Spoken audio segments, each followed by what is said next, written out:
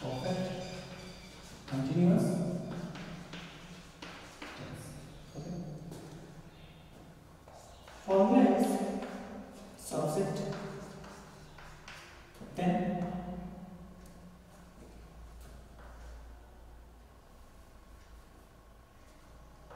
has been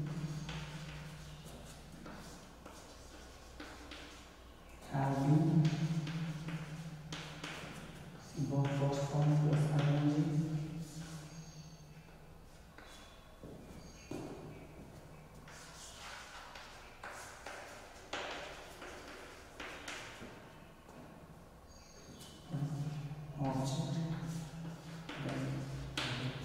okay. Perfect continuous tense we use has been or have where we use has been if the subject will be the subject will be singular where we use have been if the subject will be plural clear? For example he has been.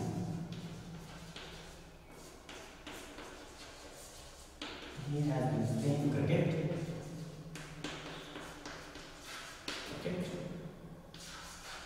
for two hours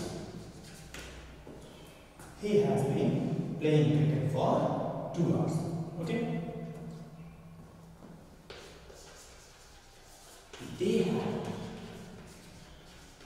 they have been reading they have been reading novels. Or or okay? So subject has been been. The first one I called ing then of for absence then object then other now I am going to discuss you about difference between present continuous tense and present perfect continuous tense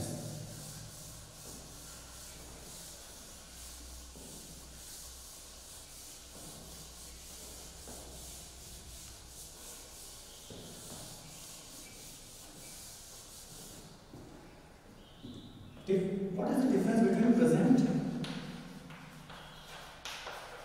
continuous and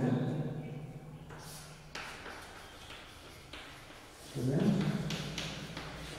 Perfect. Continuous the difference is what? Present perfect continuous tense shows accuracy. Accuracy of time of time. Present perfect continuous tense. Okay? And present continuous shows only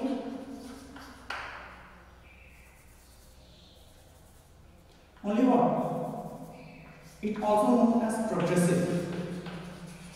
Progressive tense. It's all it's only shows continuity of time. Okay? It shows present perfect continuous tense shows accuracy of time. Okay? It shows accuracy of time. Okay? Now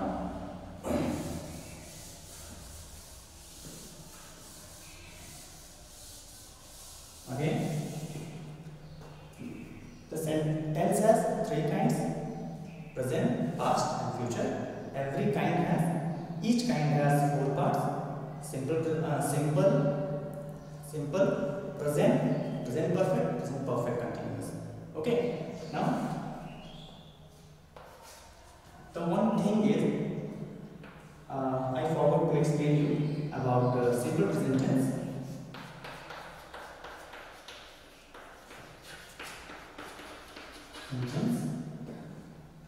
sometimes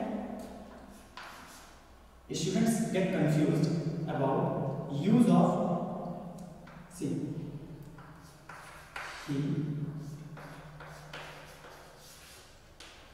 he plays okay so the subject is what? Singular the verb is singular they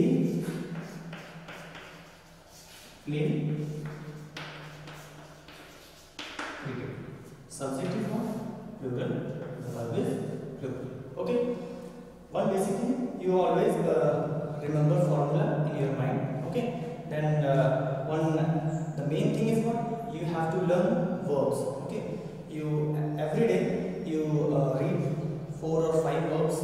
Okay per day.